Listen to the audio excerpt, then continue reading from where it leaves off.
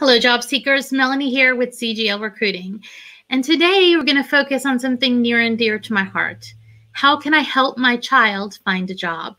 Now, if you haven't subscribed yet, please consider doing that now. We have more videos coming out as well as additional live events that we'd love to be able to notify you about.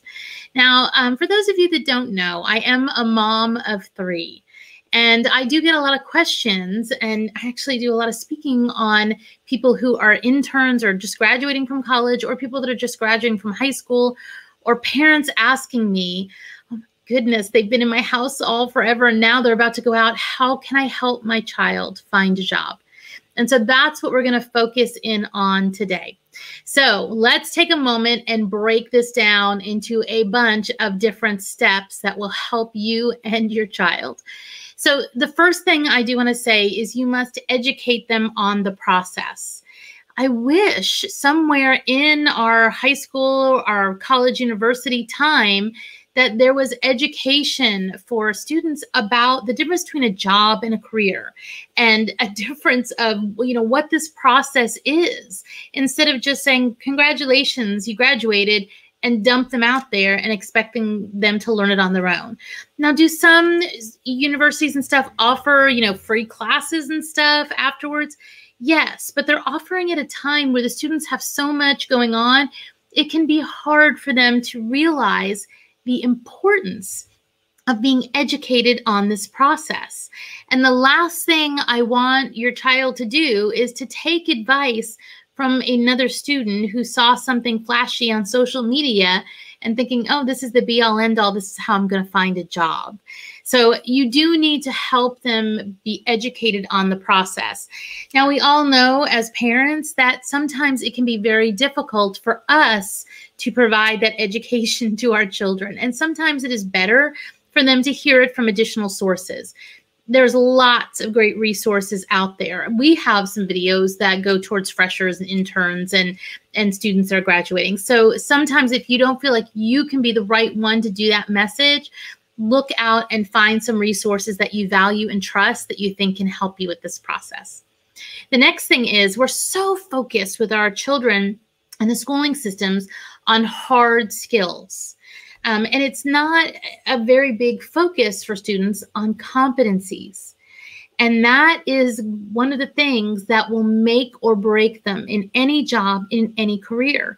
Most of them haven't even really thought about what are my core competencies? What do I do really well? Am I good at public speaking? Am I really analytical and able to, you know, analyze problems and situations? Am I a very creative person? Now, it's something that you can help identify what some of these competencies are for your child. Now, it, there are different things that you can also do, different competency assessments. You've probably heard of DISC and Caliper and so many others. So, if your child is not aware of their base competencies and what they do really well, and you think that they're just not listening to you because you're the parent, there are lots of competency assessments that you can actually have them take or recommend they take, which will help them find this. A lot of times you will be able to get these from for free from the high school or college or university that your student went to that they can go in and take it. My only concern with these is a lot of times the student will take one and then they will say, oh, great, you took this, you're great in communication. That means you should be a blah, blah, blah, blah. And it narrows the path too fast for them in their career and it makes me uh, you know a little nervous. I like that it says you know here are jobs you might want to consider. I just don't like when it narrows it too much. Which brings me to my third one that you can do to help your child find a job and that is to help them explore.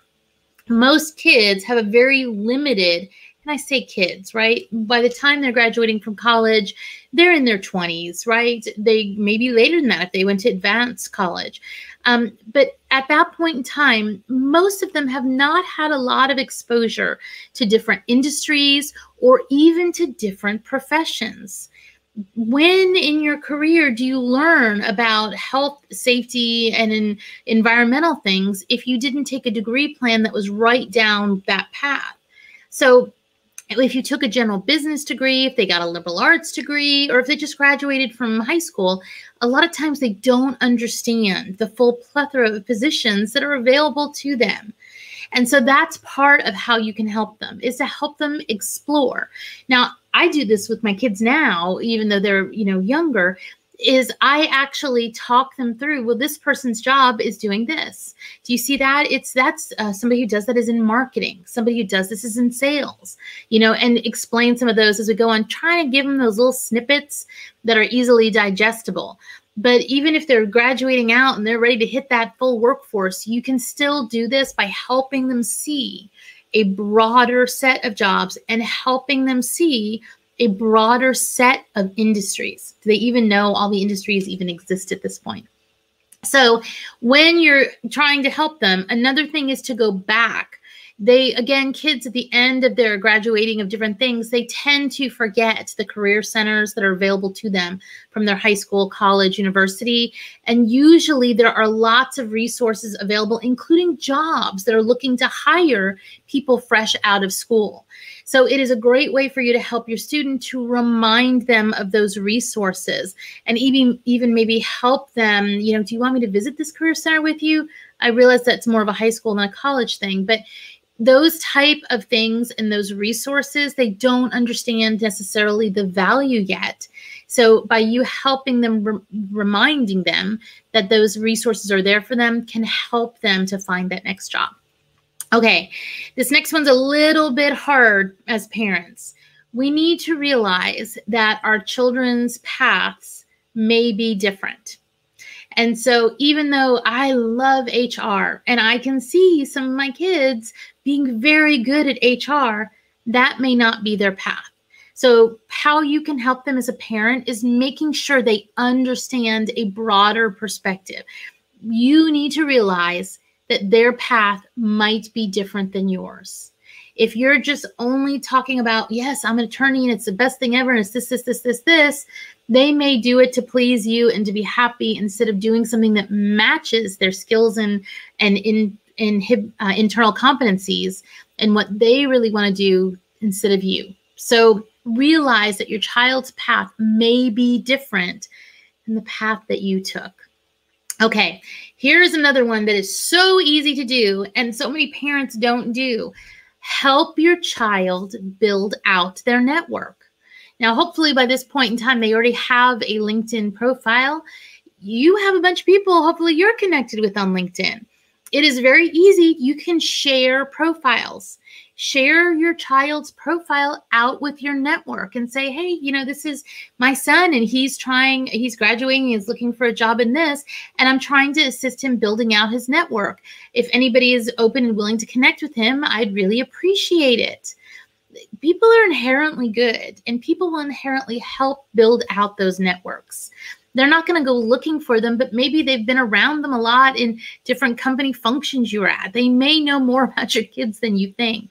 Help them build out the network because it's a very daunting task to start from almost zero and try to get up to a network that can actually help you.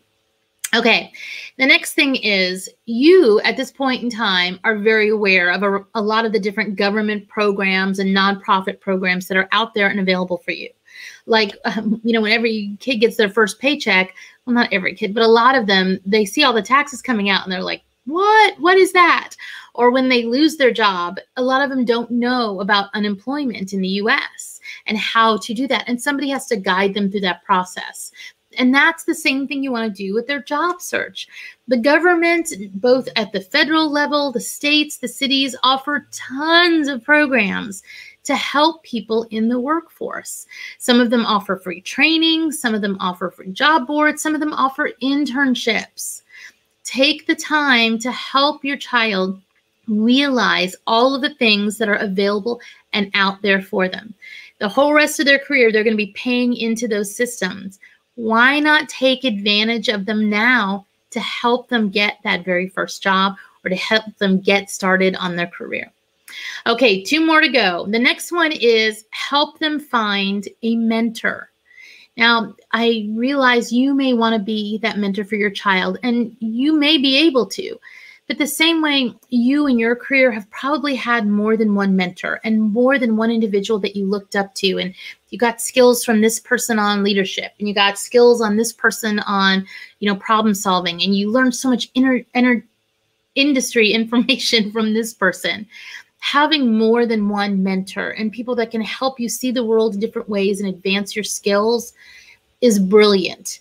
Help your child find a mentor they may not have a lot of people that they have connections yet in their industry or in their area. If there's are there some connections that you can make to help them find that first mentorship? If you can, it will really go a long way to help them not only in their job, but in their career. Okay, here's the last one.